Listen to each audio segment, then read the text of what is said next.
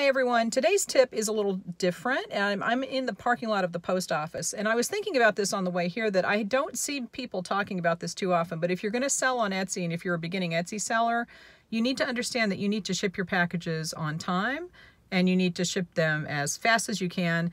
And a lot of people will wait and ship things once a week. Don't do that if you can help it. Even if you have to arrange for a pickup to get the postal service to come to your house to pick it up, and they will do that in the US, you can arrange for that.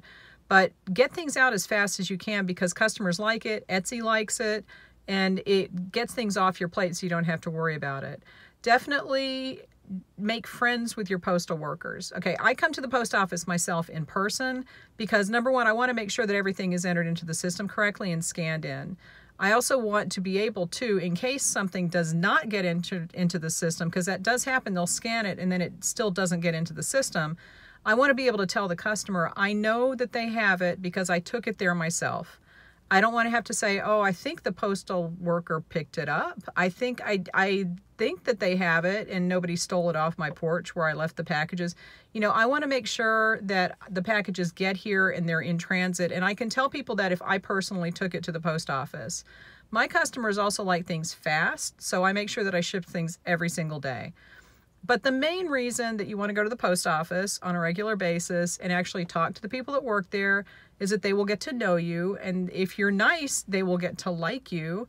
And then if you ever do have a problem, it's going to be a heck of a lot easier to get some help. And I have gone so far, and you know, this is they they deal with a lot, you guys. The postal think of how many people the postal workers have to deal with on a daily basis who are just insane. Okay, so I will come in and if they look like they're a little frazzled, they're having a they're having a time. Like sometimes they just have had people all like yelling at them all morning. I will say, "Would you like me to go get you a coffee or would you like me to go get you some donuts?" They usually say yes, and we've got like a Dunkin Donuts right across the street.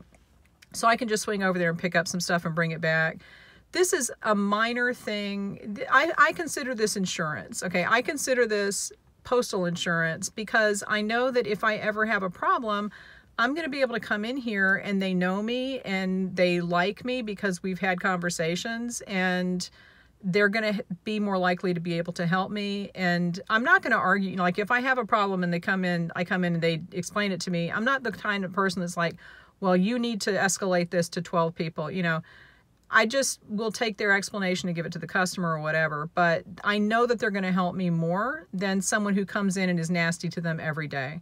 So there's more to going to the post office than just dropping your packages off. And I don't think that people understand that so much. But it's really a good habit to get into just to build up that goodwill with the people that work there. So keep that in mind. Watch this video next, and I will talk to you later.